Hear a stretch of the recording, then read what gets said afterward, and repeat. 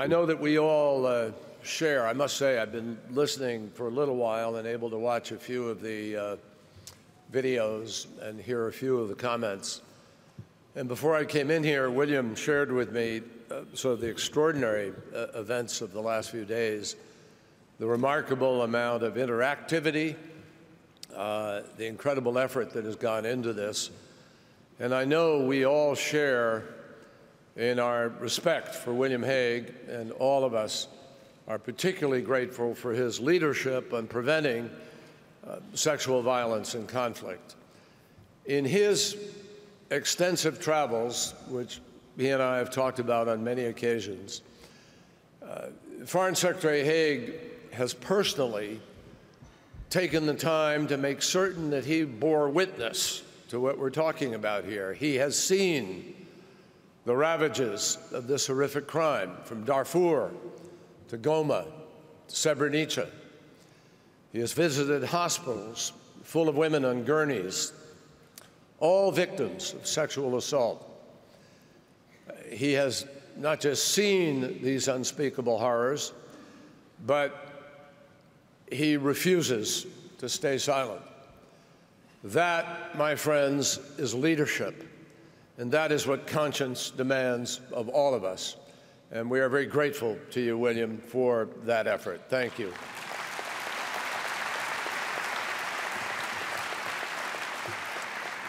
I also want to thank uh, Angelina Jolie, uh, the UN Special Representative. We've all watched her play many remarkable roles. But perhaps her most lasting legacy actually comes from a role that she plays in real life, and that is the role of fierce and fearless advocate. On her most recent trip with Foreign Secretary Hague to Bosnia, she went to a battery factory and met with the women of Srebrenica and a group of Bosnian army officers whom Angelina described as all that stands between a child and violence that will scar her forever. So I'm proud to say that with the work to prevent and combat sexual violence and conflict, Angelina and William, together with all of you here, are standing with these children. And we are all profoundly grateful to every one of you here, to Angelina, to William, to all of you who've taken time to come here and bear witness and tell the world that we all need to be committed to this effort. I also want to thank Special Representative Bangura. The United States is very proud to support the essential work that she is doing with governments to make their real commitment to prevent and respond to sexual violence. And, and her efforts, together with all of you here, I am confident, particularly as I listen to the testimonies of my colleagues for various foreign ministers and other ministers. I think William told me there are 80 plus ministers who have been here, representing 123 countries who are here. So I think everybody uh, obviously deserves gratitude for the fact that you've taken the time to come and do this, but obviously, as we heard from our last speaker, the key is what do we do? When we leave here? What actions are we going to be committed to? There are a remarkable number of thoughtful and experienced leaders from many walks of life who have come here in common cause. And I want to say to all of you that uh, it is a privilege for me to share a few thoughts with you today and to express the commitment of President Obama, the Obama administration, and the people of the United States to this effort. Now, I realize that my comments at this conference come on the final day, in the final plenary. In other words, I'm speaking at a time when just about everything has been said, but not everyone has said it. So recently, a friend of mine asked me, he said, Why now? Why this conference now? After all, this person, this friend, had been a student of warfare had fought in a war. And he reminded me that uh, sexual violence against women is a conflict that is as old as conflict itself. Well, there's a reason why marauding armies, he said, thousands of years ago, coined the phrase rape, pillage, and plunder. The norm of battle, the trilogy of terror that reflected the rights of conquerors. So why now? Because thousands of years after rape was written into the lexicon of warfare, we know that it is time to write it out and to banish sexual violence to the dark ages and the history books where it belongs. That is profoundly why now is important.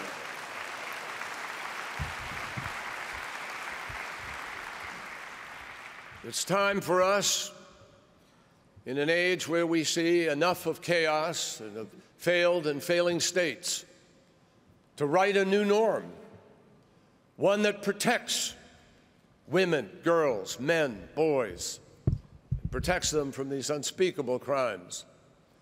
Now, to all who say that sexual abuse is going to always be a spoil of war, something so ingrained that it can't be eradicated, make no mistake, we can end sexual warfare conducted against innocent people. We can establish new norms that respect women, girls, men, and boys.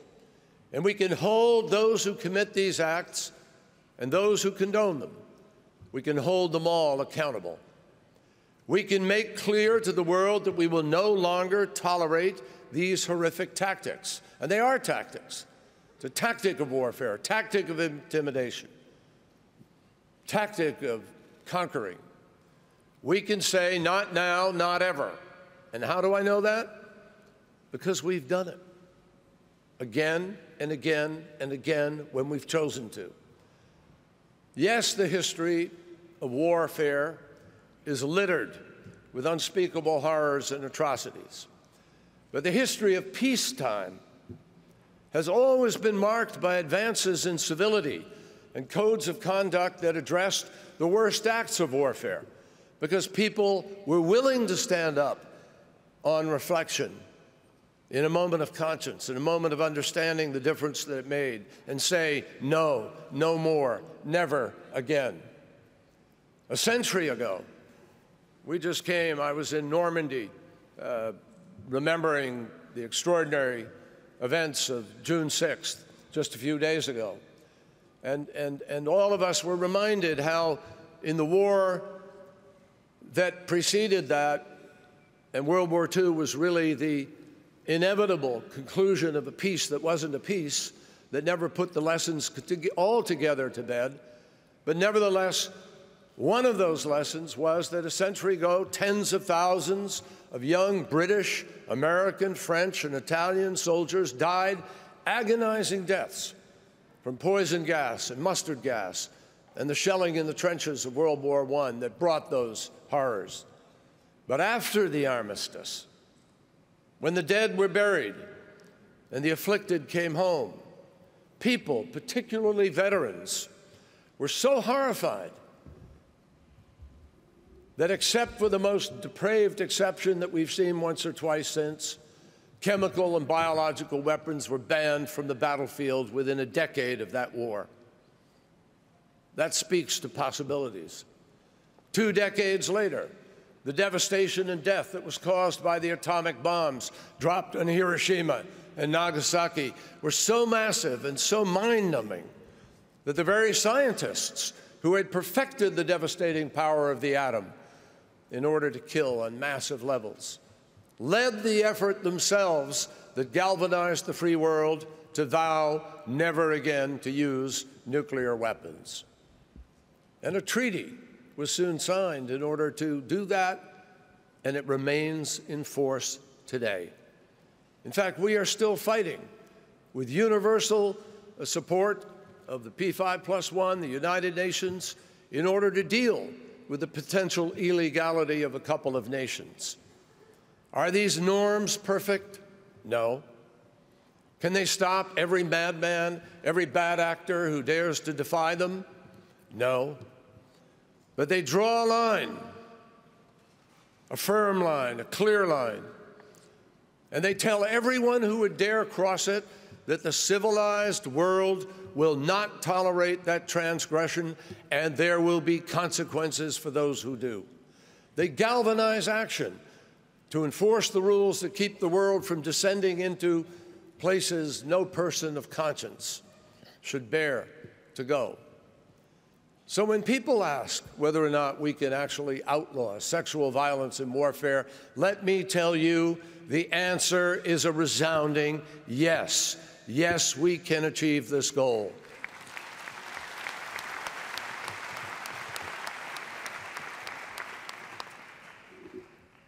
And I say that because we have banned the unconscionable before, and because the extraordinary activists gathered in this room really say to all of us, we should have confidence in our capacity to do this. If there's one thing that we've learned over the years, it's pretty simple. You got to start somewhere. I was a young prosecutor back in the late 1970s, early 80s, when a lot of people still didn't believe that violence against women was a crime. But guess what? We chipped away at that old thinking.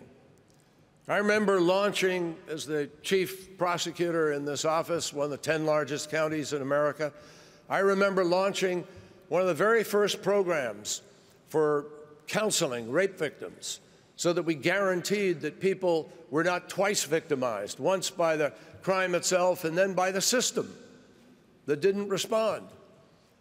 And we put together a priority prosecution unit that took all of these cases and put them on a fast track for trial so that we could try any case within 90 days of arrest to trial.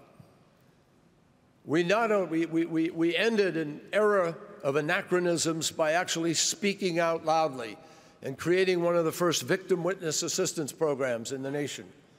So today, when rape and sexual violence remains a weapon of war and is used on purpose as a tactic of war, the solution is actually the very same. That's why I'm here today. That's why I admire so deeply what William and Angelina and others of you worked for two years to bring this effort together have accomplished. We have to speak out loudly and clearly against one of the most persistent and neglected injustices imaginable.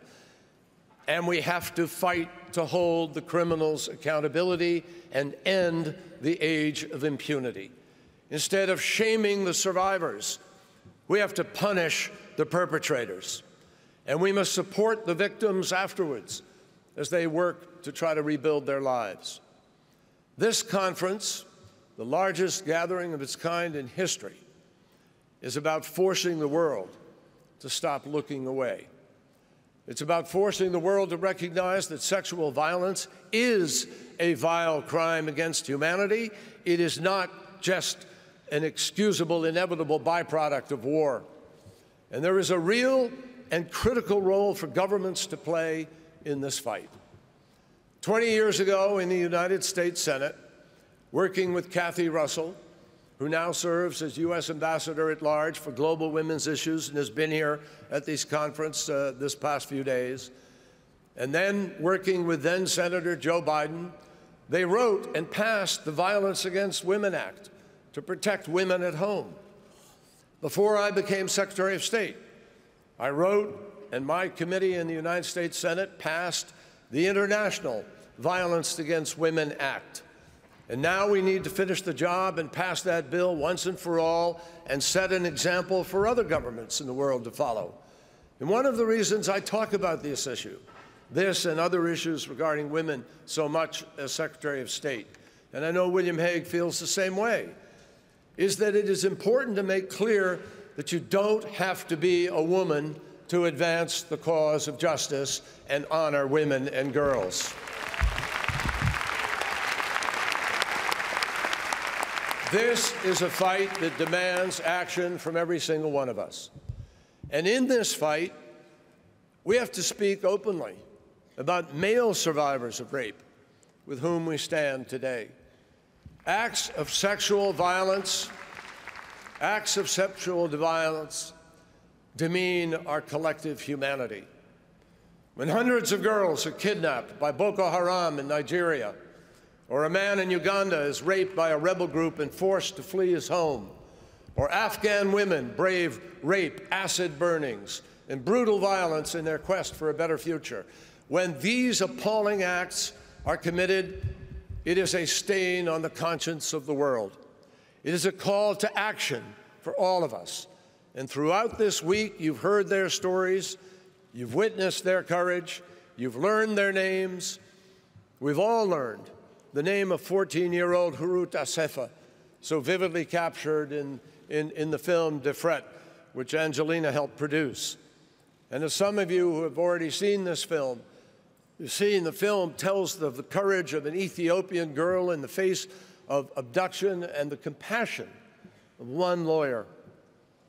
But this really is a story of conscience and of conviction that ought to inspire everybody. This issue should be personal to all of us. It really should be. I know it's become personal for me. As a veteran of war, as the father of two daughters, I can tell you it is very much so.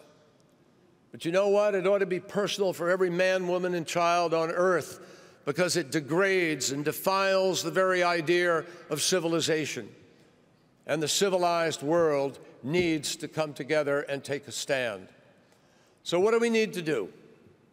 Well, number one, we need a zero tolerance policy towards sexual violence against women and men.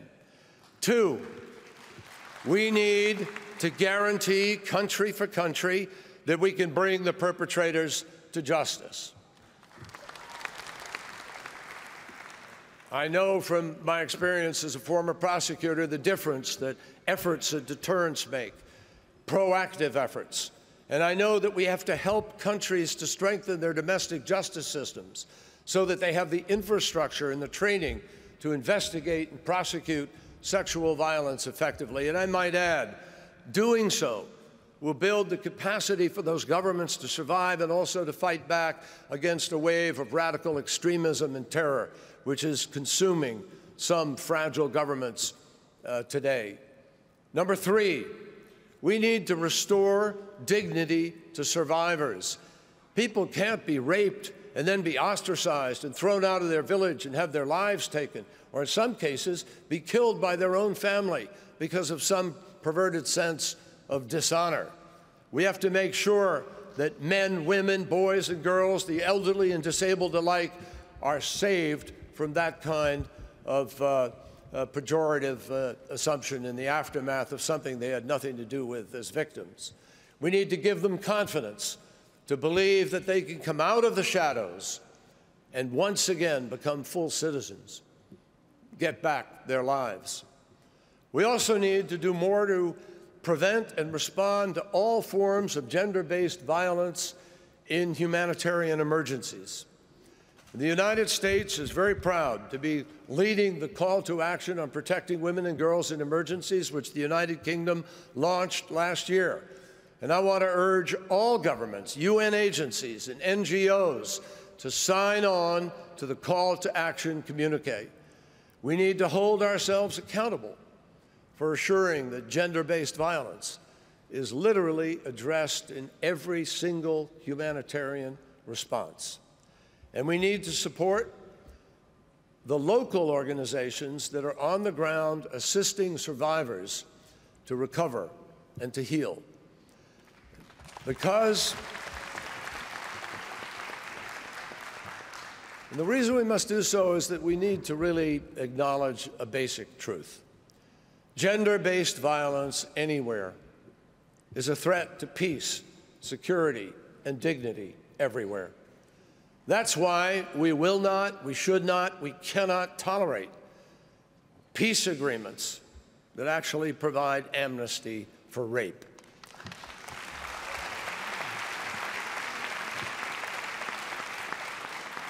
Out of this conference, we can, and I think we will, make it clear that we will not tolerate rape as a tactic of war and intimidation. And we are committed to making sure that women have a seat at the table in resolving conflicts, promoting development, building a sustainable peace. we all have learned, believe me, I see it all over the world, where women are participants, where women are respected, where women are part of that dialogue, inevitably there is greater stability, greater progress, faster. And one thing we have learned, one thing we have learned, no team, it's time of the World Cup, I'll use an analogy, no team can possibly win leaving half of the team on the bench. We have to proceed with all. And we need to make sure that their perspectives inform the work of security and justice and of peacekeeping operations. Without the help and guidance of all members of society, men, women, youth, we will not be able to achieve the lasting peace and security that all people deserve and yearn for. Now, obviously, this summit is not just about shared commitments. It's about translating those commitments into action. The, each of the videos that I just saw were individual pledges of each country determined to make its own difference. It's a call to action. This is a plea to people everywhere to stand up and make a difference. And the United States also is committed to taking our own action now. We're launching an accountability initiative to help survivors secure justice, to build the capacity of partner governments to prosecute the sexual violence crimes in countries that are ravaged by war and violence and insecurity.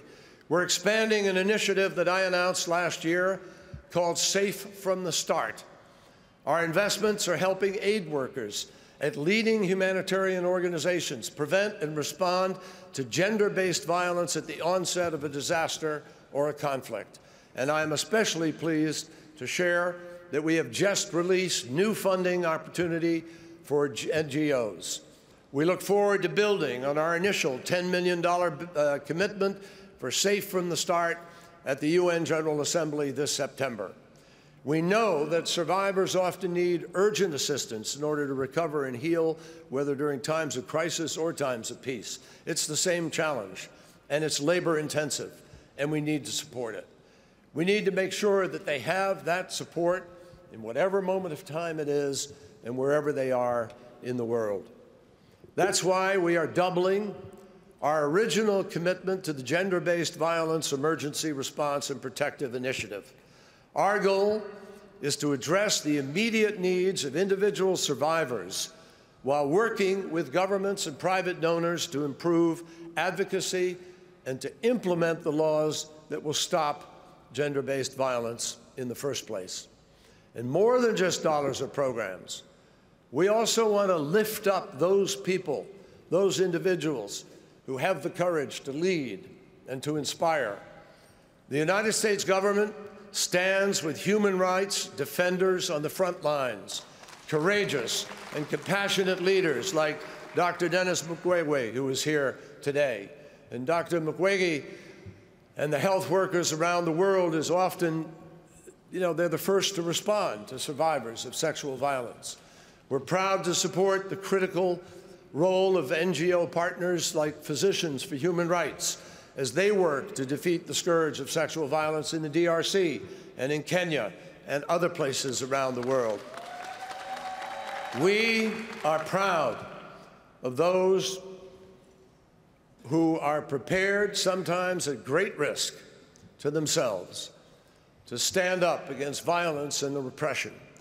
One of the things that has struck me uh, so intensely as Secretary of State in the course of this year and a bit that I have been Secretary is in my travels, I keep meeting these people, and I keep hearing these extraordinary stories of people who take on governments, often and usually anonymously, without any support system around them, sometimes completely anonymously and often disappearing, disappearing to a dank jail, to torture, to never return to their families. There are heroes all around the world who are fighting, and we need to stand up and stand by them. Human rights defenders like abducted Syrian activist Razan Zaitouneh, they are especially on our minds. Razan has risked her life inside Syria to care for political prisoners and call attention to human rights violations, including against women. We stand in awe of her leadership and heroism. And again today, I call for her release and the release of thousands of human rights defenders around the world.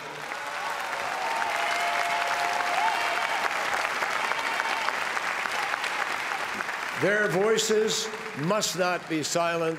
Their voices must be empowered. And William, that's what you and this conference are doing here today.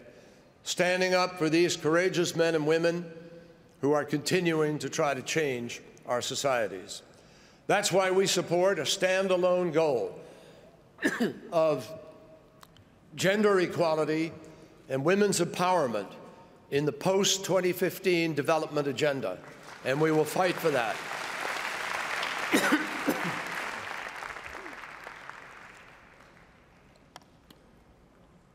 Long plane flight. Get you anytime. That's why I am also issuing a policy guidance cable uh, directly from me to every single embassy and every single bureau in the United States Department of State or in the foreign efforts, every diplomat and every officer at every level in order to further integrate gender equality and advance the status of women and girls in all aspects of our diplomatic work, including preventing and responding sexual violence in peacetime and conflict. I'm proud to tell you that five of my six regional bureau chiefs, assistants, are women, and four of my six undersecretaries of the Department of State are women, and 50% of my deputy secretaries of state, that's one of two, are women. So these, these are steps that the United States, I can guarantee you, will continue to prioritize. But we also have a common responsibility, and that is to make sure that the perpetrators of sexual violence and conflict do not find refuge in any country. That is why I issued detailed guidance to implement President Obama's decision to suspend visas to human rights abusers. Our principle is clear to make sure that those responsible for crimes against humanity and war crimes, including those involving sexual violence, are not able to enter the United States. Not now, not ever. And that responsibility goes straight to the top, even to the military commanders who knew or should have known about sexual violence and failed to act. I challenge all countries everywhere to participate in a global campaign of accountability and containment. That's the way we come out of here with a plan of action that can work and change the world. We need to send a strong message that no matter who commits these crimes, no matter where they take place, the perpetrators will find no safe harbor anywhere. My friends, I do have faith that we can really win this fight. Sometimes I know it seems daunting, but hope is always stronger than fear. And nothing should give us more hope than the example of those who have survived sexual violence and found courage in their own recovery. We just lost one of these courageous women, the extraordinary poet, Maya Angelou. As a young, as a young girl, as a young girl, Maya was raped by her mother's boyfriend. She withdrew into herself. She refused to speak for six years. One day, a woman in a small town in Arkansas where she lived, took her hand and led her to a segregated library with only 300 books. But to Maya, it felt like thousands of books. And that library became her refuge, became her place of healing. And when Maya chose to speak again, it was her choice. She chose. She incorporated all that she had learned from her reading and her recovery into the art for which she became so famous and so loved. The words of her poem, Still I Rise, celebrate this journey. Out of the huts of history's shame, I rise. Up from a past that's rooted in pain, I rise. I'm a black ocean, leaping and wide, welling and swelling. I hear in the tide, leaving behind nights of terror and fear, I rise. Into a daybreak that's wondrously clear, I rise today together with all the people here, men and women, boys and girls who refuse to remain victims, we rise. We rise with them as they leave behind nights of terror and fear. We rise with them into the daybreak as they speak out for those who cannot speak for themselves. As Maya exhorted us, we came here to send a message. We rise, we rise, we rise. We will go out of here and do the work to end this scourge of sexual violence. Let's get the job done. Thank you very much, and God bless.